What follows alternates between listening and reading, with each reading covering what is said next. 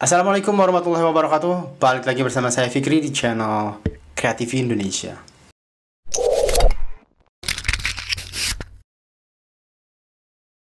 Halo guys, bagaimana kabar kalian? Semoga selalu baik-baik saja, semoga selalu dalam lindungan Allah Subhanahu wa taala dan semoga selalu dijauhi dari segala mara bahaya dan kesusahan serta segala penyakit. Amin ya rabbal alamin. Dan jangan lupa guys untuk selalu bersyukur atas apa yang telah Allah berikan pada kita selama ini. Oke guys, kali ini kita akan kembali mereaksi sebuah video. Kali ini uh, saya akan mereaksi video dari Kupi Kupi Go yang sudah lama saya nggak lihat. Dan video yang akan saya lihat kali ini berjudul Case-Case Kehilangan Mistik di Malaysia yang Masih Misteri. Ini menarik ya karena pernah saya juga mendengar seperti seseorang yang hilang di tengah hutan itu yang konon katanya diculik atau dipersunting oleh uh, bunian ya kayak gitu tuh saya menarik tuh guys kita ingin tahu guys ada latar apa cerita latar belakangnya seperti apa itu sangat menarik oke okay. kita langsung lihat aja guys ini dia case-case kehilangan mistik di Malaysia yang masih misteri 1, 2, 3 play Hai guys, selamat kembali ke Kubi Kubi Go. Anda bersama saya Ekram.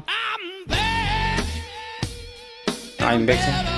Udah lama gak bikin video kali ini. Pada mereka yang perasan, bulan ni saya jarang buat naik video. Ada yang tanya oh. saya di email, di Facebook, di Instagram, tanya Ekram masih hidup ke tidak?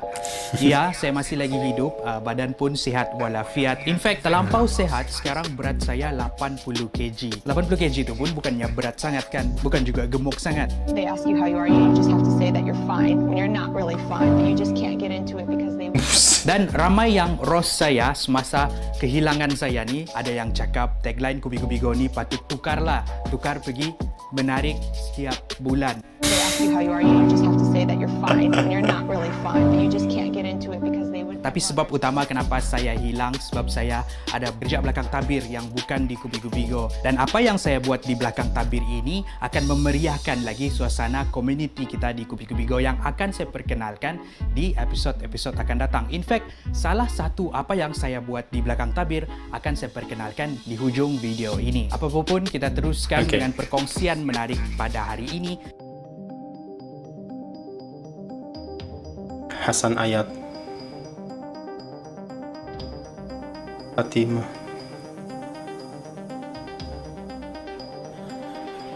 Zulaiha ini masih kecil nih anak kecil.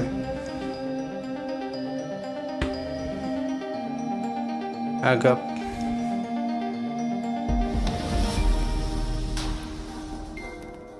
Bayangkan di Malaysia ni banyak kehilangan-kehilangan yang masih lagi misteri dan orang-orang yang hilang ni masih lagi tidak ditemui sehingga hari ini.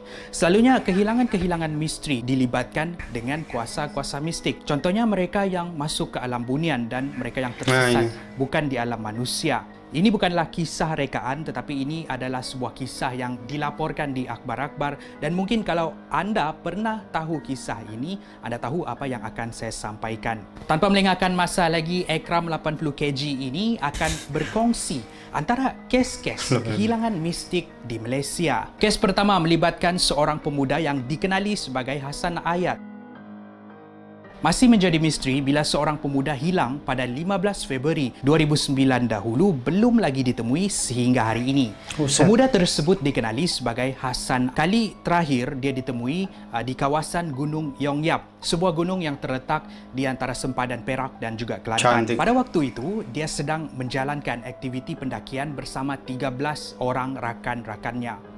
Pelik, hmm. bila mereka di dalam perjalanan turun dari puncak, Kedudukan Hasan pada waktu itu ialah orang keempat daripada barisan pendaki. Tetapi disebabkan Hasan mempunyai masalah lutut, dia mengizinkan pendaki yang berada di belakangnya untuk memintas dia, membuatkan dia sekarang berada di belakang sekali. Uh... Tapi bila sampai sahaja kumpulan pendaki itu ke kaki gunung, kelibat Hasan tidak dilihat di mana-mana.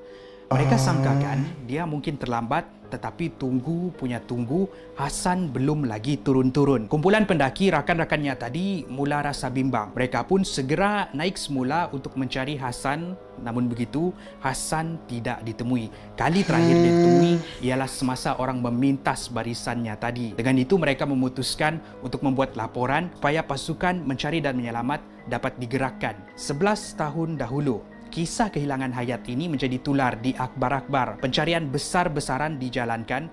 Bayangkan pencarian selama 40 hari dengan pelbagai cara masih gagal untuk menemui Hasan. Apa yang kumpulan mencari temui ialah bekas tapak kasut Hasan, tempat dia bermalam, bekas tumbuhan yang dia cuba makan. Selain itu mereka juga menemui palang kayu yang menutupi setengah laluan trek seperti dilanggar oleh sesuatu mengesyaki Hasan mungkin tersesat masuk ke laluan trek yang telah ditutup. Melihat bekas-bekas kem Hasan ini, kumpulan mencari tadi ada yang meninggalkan beberapa peralatan seperti macis, lilin, makanan dan beberapa barangan lain untuk membantu Hasan kalau dia kembali ke kem dia tadi. Namun begitu, setelah dua tahun mencari, akhirnya keluarga Hasan reda dengan kehilangannya dan pada tahun 2011, surat kematian Hasan telah pun dikeluarkan secara rasminya.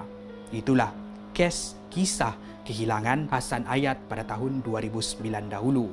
Kes kehilangan seterusnya ialah kes kehilangan warga emas yang dikenali sebagai Fatimah. Dia hilang ketika membasuh pinggan. Kisah ini terjadi pada 20 Disember tahun 2000 melibatkan seorang wanita berusia 72 tahun yang dikenali sebagai Fatimah. Suami kepada Fatimah dikenali sebagai Haji Osman. Haji Osman membawa Fatimah ke warung berdekatan untuk minum petang. Semuanya nampak normal, tiada apa yang ganjil.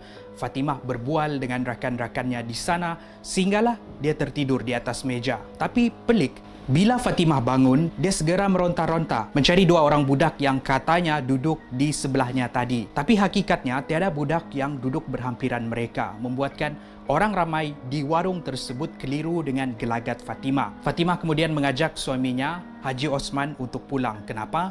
Sebab menurut Fatimah, ada orang yang menunggu dia di rumah mereka. Kembali mereka ke rumah yang pada waktu itu pukul 2.30 petang, Haji Osman yang mengantuk tertidur di sofa sementara menunggu Fatimah di dapur untuk membasuh pinggan. Tapi apa yang disangka Haji Osman hari yang biasa, dia salah sama sekali bila Fatimah tidak ada di rumah ketika dia terbangun. Segera mencari keberadaan Fatimah, dia ke rumah jiran dan ke hulu hilir kampung. Tapi kelibat isteri tercinta tidak ditemui lagi. Jiran-jiran pun membantu mencari Fatimah termasuklah mencari di kawasan Bukit Busut Licin tempat tinggal arwah ibu Fatimah yang hanya terletak hmm. di hadapan rumah mereka. Menurut Haji Osman, Fatimah ada sedikit nyanyuk. Dia akan selalu bercerita tentang ibunya yang memanggil dia pulang ke Bukit Busut. Itulah sebab kenapa mereka mengesyaki Fatimah mungkin pergi ke Bukit Busut. Pencarian besar-besaran yang melibatkan uh, pihak berkuasa gagal untuk menemui keberadaan Fatimah. Kisah kehilangan Fatimah ini tidak berakhir di situ. Selepas Fatimah disahkan hilang, ada kisah dari jiran yang melaporkan ada terhidu bau haruman bunga kenanga. Ini adalah bau haruman yang sering dipakai oleh Fatimah. Dan Bau haruman ini seakan-akan memberikan gambaran Fatima berada di sekeliling kawasan rumah, tidak pernah pergi ke mana-mana tetapi tidak boleh dilihat dengan mata kasar. Ada juga kisah tentang seorang kanak-kanak di kampung tersebut yang melihat Fatimah di bawah pokok di kebun milik mereka. Tapi cuma budak tu yang boleh melihat. Dengan itu timbullah spekulasi Fatimah sekarang tidak lagi berada di alam manusia tetapi dia berada di alam bunian. Rinding guys.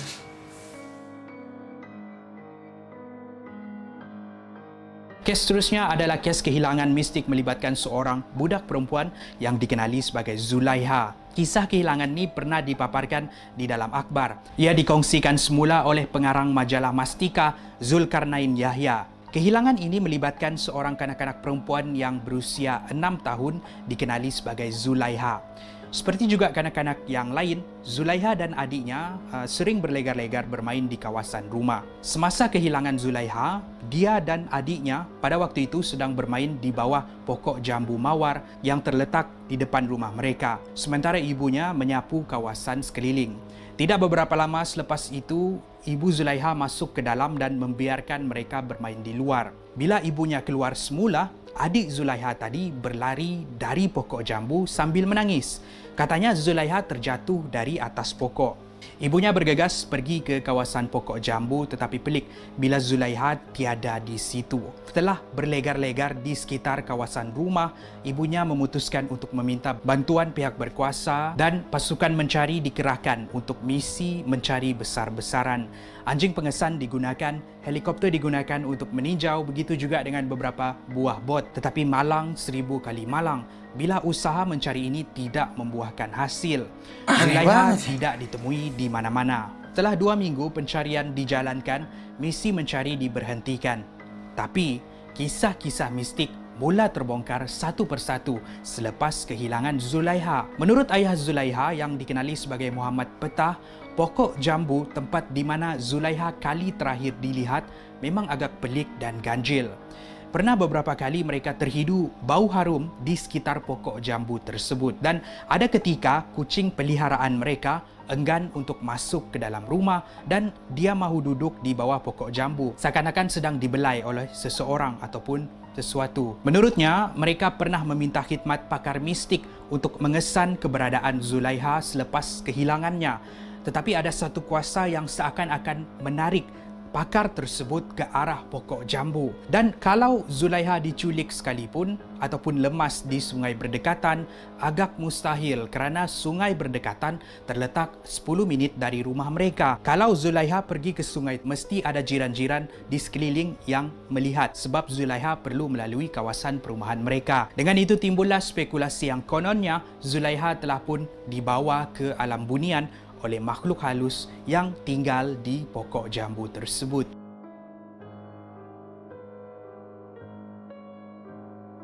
Antara kehilangan mistik yang paling hangat dibincangkan di media sosial pada tahun 2019 dahulu ialah kehilangan seorang pemuda yang dikenali sebagai Muhammad Ashraf Hassan ataupun Acap. Saya sendiri pun pernah berkongsi tentang kehilangan Acap ni. Secara ringkasnya, Acap hilang pada tahun 2019 semasa dia sedang menjalankan aktiviti larian 100 km Gopeng Ultra Trail bersama 500 lagi peserta yang lain. Laluan Gopeng Ultra Trail ini memerlukan peserta untuk untuk melintasi beberapa kawasan berbukit termasuklah di kawasan Gua Tempurung. Acap disahkan hilang bila kelibatnya tidak muncul-muncul ke garisan penamat walaupun acara telah pun berakhir.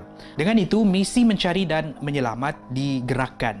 Misi besar-besaran mencari acap ini mendapat liputan media dan kumpulan mencari.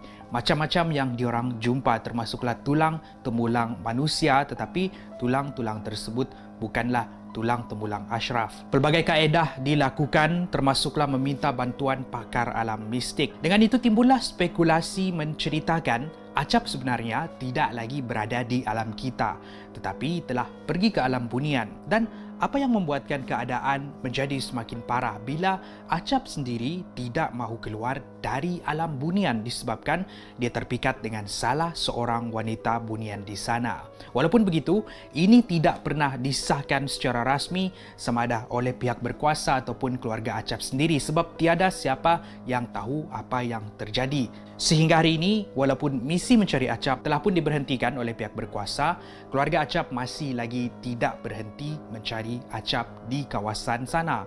Dengan harapan dapat menemui semula Acap ataupun Muhammad Ashraf Hassan. Kita doakan yang terbaik untuk mereka yang hilang tidak dapat ditemui ini. Dan kepada mereka yang berminat untuk mendengar penjelasan secara terperinci di episod yang lalu uh, saya akan tinggalkan link di description di bawah. Dan itulah kes-kes kehilangan misteri yang dilibatkan dengan alam-alam mistik. Sekali lagi, tiada yang dapat mengesahkan kisah-kisah ini sebab tiada siapa yang tahu apa sebenarnya yang terjadi.